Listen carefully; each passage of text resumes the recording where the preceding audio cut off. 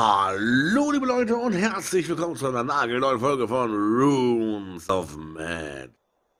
Schön, dass ihr wieder mit dabei seid und ganz wichtig, ich äh, möchte mal auf die Kommentare eingehen von Sinclair, der hat zwei Fragen gestellt.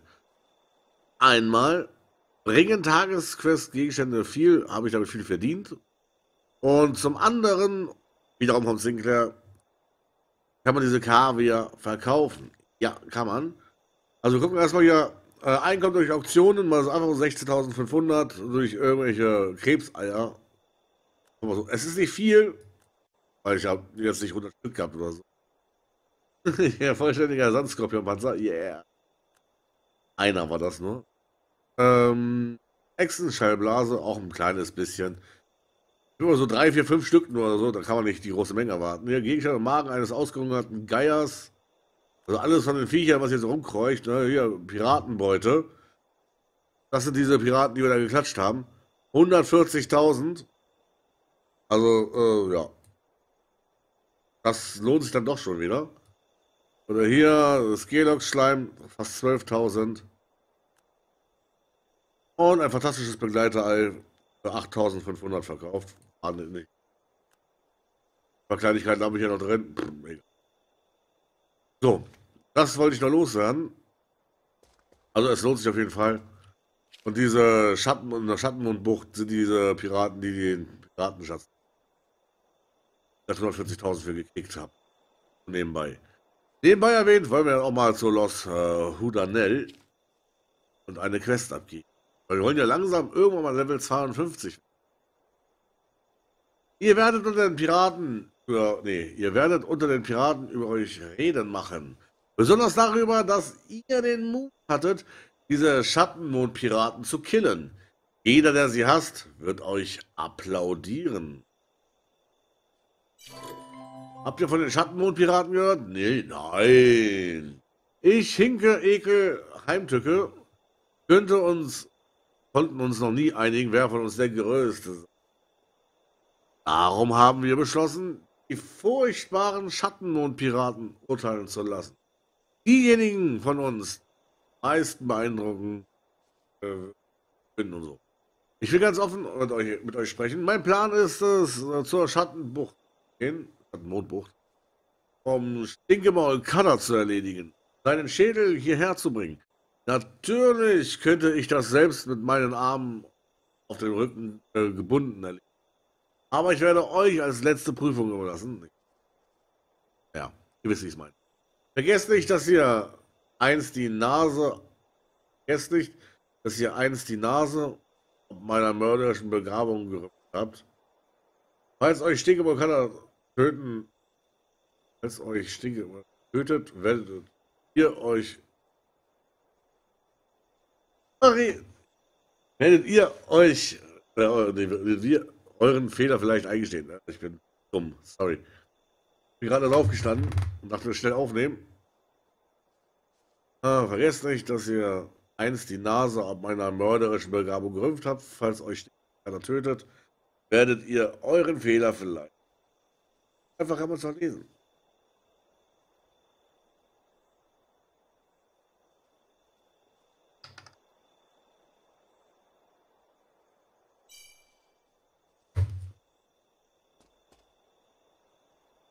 Maschek. Haha. Er hat sich in einen Frosch verwandelt? Da muss Nasenfäule Pori ganz schön erschreckt haben. Es ist eine Schande, dass ich die Formel noch nicht perfektioniert habe. Sonst wäre die Verwandlung von Dauer. Uh. Muss ich was aussuchen? 1, 8, 3, 3. Ja. Ja, mal das gleich weg damit.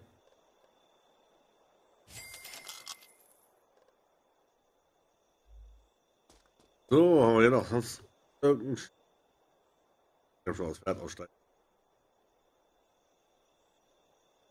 Nee. Oder auch nicht.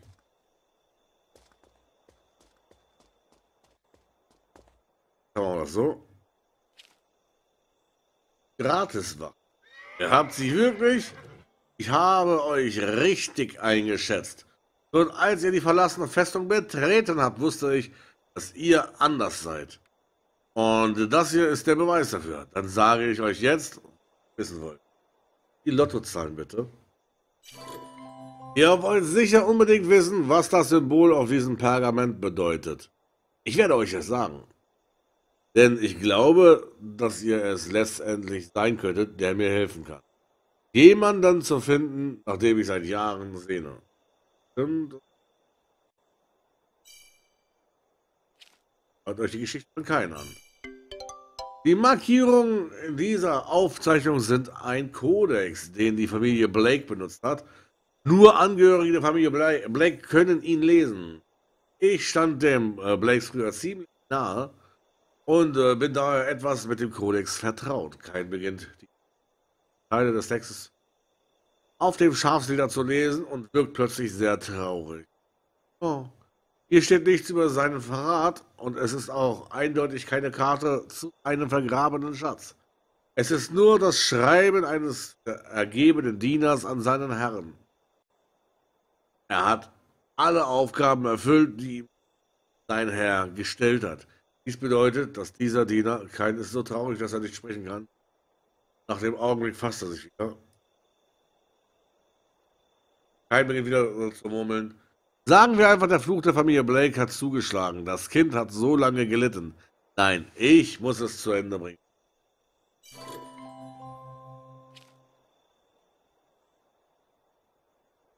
So, so. Könntet ihr mir einen Gefallen tun? Also fängt er schon mal super an. Echt wieder... Äh, wenn ihr in die Schatzhöhle gelangt. Ich stand einst dem Schwarzsegelkapitän Snowblake nahe. Man könnte sagen, dass sie sich ihr Freunde waren. Diesen Lederpergament zufolge wurde die Familie Blake mit einem furchtbaren Flug. Ich nehme an, dass auch Snowblake davon betroffen ist. Eine tote Seele, die keinen Frieden findet. Ist etwas Schreckliches. Wenn ihr daher in der Schatzhöhle auf den Geist von Snowblakes stoßt, könnt ihr bitte versuchen, sie zu befreien? Ich habe keine Ahnung, wie es jetzt um sie geht. Sie könnte euch angreifen. Wenn sie das tut, müsst ihr sie bezwingen. Sie hat schon viele im Kampf umgebracht. Dass es Zeit für sie wird, Ruhe zu kommen. Bitte euch inständig um diesen Gefallen werden wir ähm, aber nicht alleine kriegen.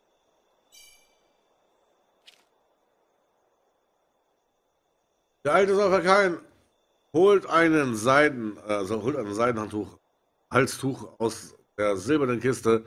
Es ist alt, aber noch in einem guten. Das ist es. Das ist der Schlüssel zur Lösung des ganzen Rätsels. Nehmt es bringt äh, diesen alten Seitenschal zur verfallenen Schiffswerft am Seemannsfriedhof und sucht ein kleines rotes Boot. Auf dem Boot müsste eine alte Harpune befinden. Bindet das Halstuch in Dreizack, dann wird euch jemand Geheimnis des Schatzes. Okay.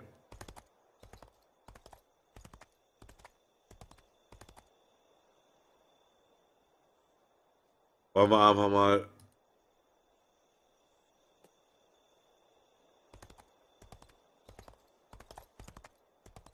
So, ähm. Seemannsfriedhof, da müssen wir hin. Da müssen wir hin. Hier müssen wir hin. Nee, da müssen wir hin. Da gehen wir später hin. Wir machen das mit dem äh, Dreizack. Er hat eigentlich eine rotes Gummi.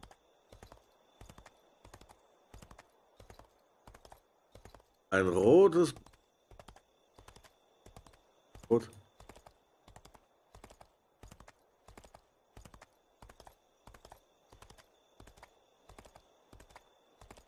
Ich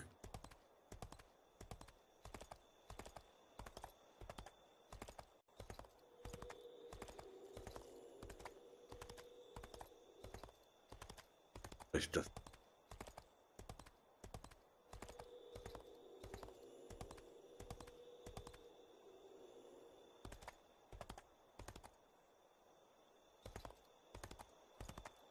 Nö.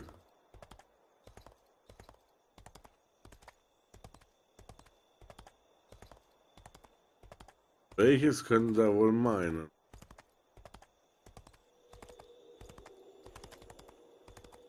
Ich. Ich.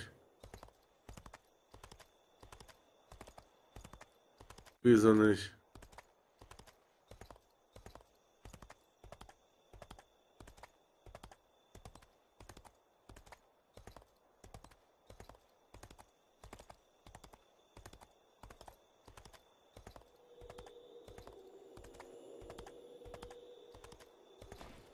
Weiterholen.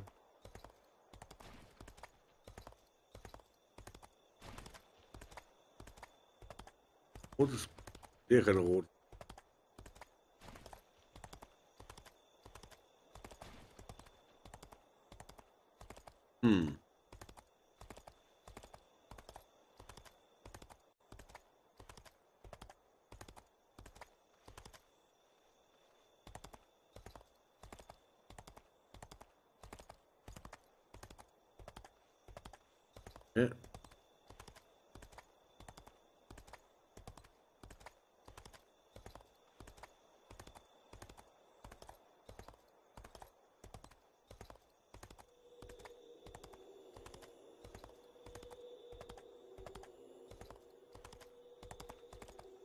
Ist gut, das ist mal kurz ruhig, ich will auf die Karte gucken. Äh, kann er.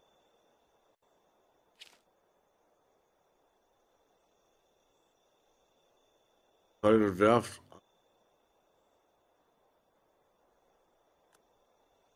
Lesen. Nee, du bringst halt.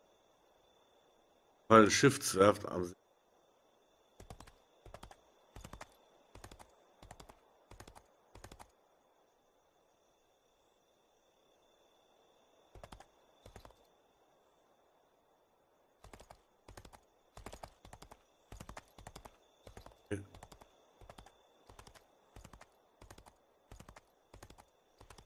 Bin einfach ein bisschen ballert. Keine Ahnung.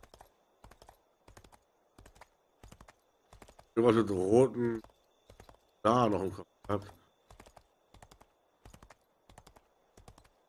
Einfach was Falsches im Kopf. Hallo. Irgendwo hier vorne dann sein.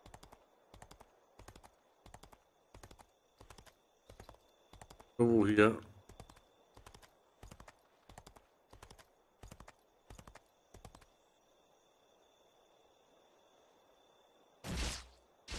Geh mich auf den Keks. Ja. Alter Pune.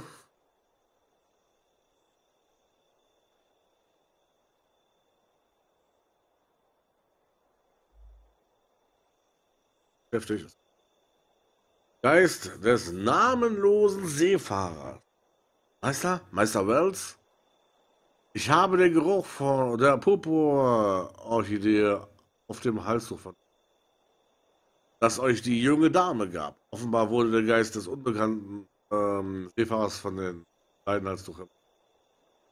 Ihr seid nicht jener, den ich erwartet habe. Hey. Hm.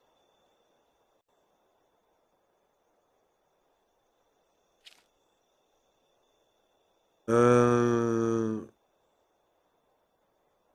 Betragt das halt des Meisters. Was bedeutet, dass ihr ein Freund des Blake, der Blakes seid?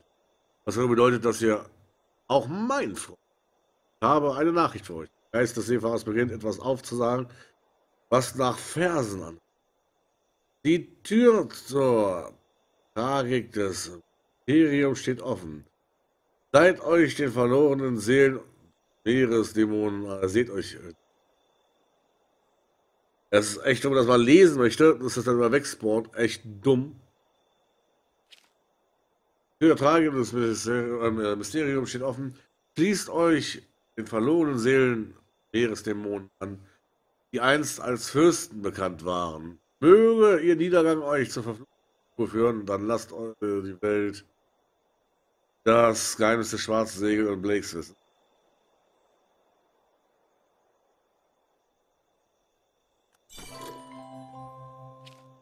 Freunde Familie Blake. Und entschuldigt mich auf jeden Fall für die Verhaspler heute. Heute, heute ist es extrem. Aber hier neue Quests. Und hier. Ja. Hier vorne muss einer. Boris. Trotzes. Bei dieser Aufgabe geht es um Talamo. Talomo. Genau um die, äh, den Piraten Talomo, der zusammen mit den Blakes verschwand. Ich habe viel Zeit und Geld investiert, um etwas über sein Verbleib herauszufinden. Und neulich gab mir ein betrunkener Schattenmondpirat den entscheidenden Hin. Kurze Zeit nach dem Tod von Snowblake fasste neuer Talomo den Entschluss, die Meuterer mit einem Fluch zu belegen. Hm, war ein fürchterlicher Fluch. Deshalb töteten ihn grausamer Art und Weise. Doch im Augenblick seines Todes fuhr ein böser Geist in den treuen Seemann und überraschte sie mit immensen Kraft, sodass sie flohen. Klingt vielleicht zynisch, aber die Blakes müssen eine ziemlich nette Familie gewesen sein, wenn er ihnen sogar im Angesicht des Todes noch loyal genommen, gesonnen war. Tatsache ist, ich weiß es nicht. Und ich will es, glaube ich, auch gar nicht verstehen. Ich will, dass ihr den bösen Geist besiegt und Talamos Überreste hierher bringt. Mit den Frieden ruhen. Oh. Oben haben wir was, da haben wir was. Wir gehen aber erstmal, bevor wir. Obwohl, nee, lass uns erst die Quests abholen. Nicht, dass wir wieder zur Schattenmondbucht reisen müssen. Wäre dann doch ein bisschen.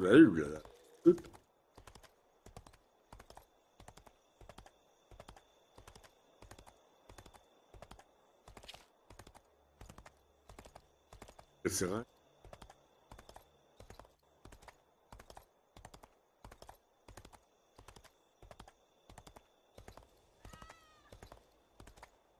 Morgen Chadwick.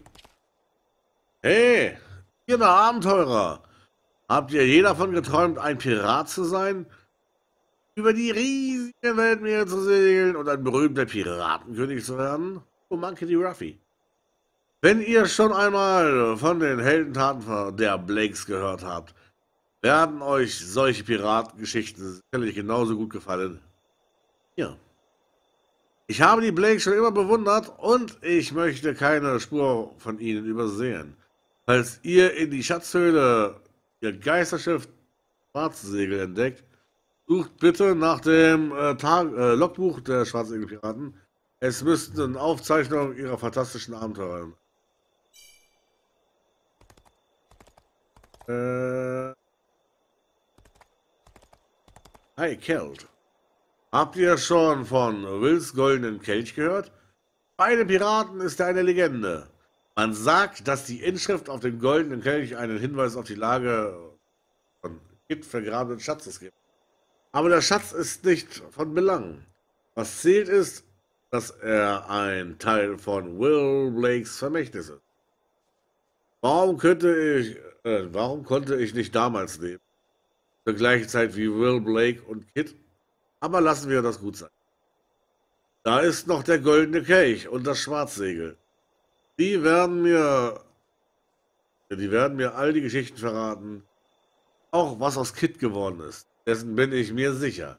Ich werde euch für den goldenen Kelch und Informationen über das Schiff der Schwarzsegelpiraten einen sehr guten Preis bezahlen. Ähm, könnte was dazu sagen, mache ich aber jetzt. Wenn ich erstmal Kolkza vorlesen möchte. Drei Augen Luke. Kennt ihr schon die Legende von Drei Augen Luke? Ihr habt noch nie etwas davon gehört? In Ordnung, ich werde sie euch erzählen. Aber sucht vorher noch äh, Megigo auf und treibt bei ihm äh, die Schulden ein, die er bei mir hat. Er muss sich irgendwo um die Verlassung Festung befinden.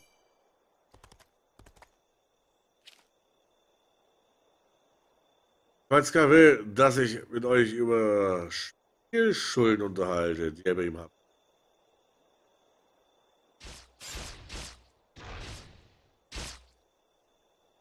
Lilo ist absolut unverschämt. Ich werde sie Ihnen nicht zurückzahlen. Was wollt ihr machen? Nicht schlagen. Hier ist das Geld von Megigo. Mit dem Schwert in der Hand. Hallo. Habt ihr schon von äh, Felsida gehört? Es war der furchterregendste der Seemänner von den Schwarzen Maria. Damals hatte er unzählige Herausforderer.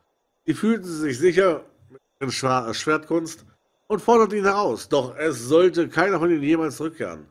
Er ist ein wahrer Gegner. Klingt irgendwie so nach äh, Dings.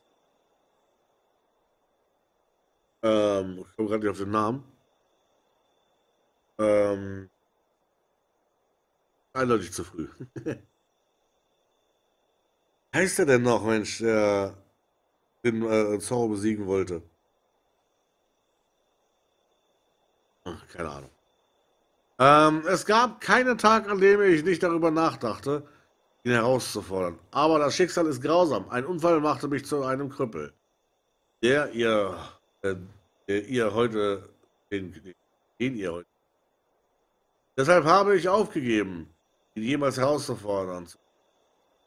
Ganz zu schweige, dass ich ihn besiegen könnte. Sieht auf seinen Handstumpf. Ich habe gehört, dass Feld sie da nun tot ist aber aufgrund eines Fluches, weil seine Seele immer noch in der Schatzhöhle. Solltet ihr jemals die Gelegenheit haben, euch mit ihm zu messen, äh, bitte lasst mich darüber alles wissen. Ich bin sicher, dass es eine spannende Geschichte sein wird. Und vorausgesetzt, ihr kommt Leben zurück.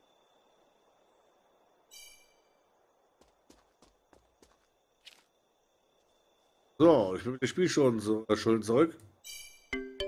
Luke war ausgeguckt bei den äh, Schwarzsegeln und ihnen treu ergeben. Er hatte gute Augen. Ihm war es zu verdanken, dass Blakes anfangs so viele. Äh, ihm war es zu verdanken, dass die Blakes anfangs so viele Schätze fanden. Die Ergebenheit von drei Augen Luke spielte dabei eine große Rolle. Dass ein verfluchter Kompass in seinem Besitz sei, dem er seine Fähigkeit zu verdanken hat und den er all die Jahre stets bei sich hatte. Drei Augen Luke hatte sein ganzes Leben lang für die Blakes gearbeitet, doch er fand ein tragisches Ende. Als der erste Mart Hook Snowblake verriet, versuchte Drei Augen Luke ihn aufzuhalten. Hook verletzte sich schwer, nee, verletzte ihn schwer, was die Sache so tragisch macht, dass die Tatsache, dass Drei Augen Luke und Hook best Freunde waren, ehe Luke zu den Schwarzsegeln ging. Drei Augen Luke muss Hook auch für seine Tat gehasst haben. Bisschen. Man erzählt sich eine weitere rätselhafte Geschichte über drei Augen Luke. Wie ihr wisst, sind alle Piraten mehr oder weniger Alkoholiker. Aber drei Augen Luke ist eine genau ist das genaue Gegenteil. Er rührt nie auch nur einen Tropfen an. Heißt, hatte einen Grund dafür. Den behielt er für. Ihr habt nun die Geschichte von drei Luke gehört. Es gibt äh, aber noch ein paar andere Dinge, mit denen ich bei denen ich Hilfe benötige. Man sagt sich, der verfluchte Kompass von Dreiaugenlug besäße die magische Kraft, jeden erdenklichen Schatz auf der ganzen Welt in nur eine Sekunde zu orten. Jedoch soll der Fluch auf dem Kompass liegen, einem jeden, der ihn besitzt, tragisches Ende, tragisches, tragisches Ende bescheren. Ich habe. Ja, aber nee, Quatsch. Ich aber denke, dass der Fluch nur ein Märchen ist, das die Leute davon abhalten soll, den Kompass, Kompass zu stehlen. Falls ihr das Glück haben solltet, dort in der Schatzhöhle den Geist von Dreiaugenlug zu begegnen, seht nach, ob ein verfluchter Kompass immer noch dort ist. Wenn ihr den verfluchten Kompass findet, bringt ihn zu. Übelst.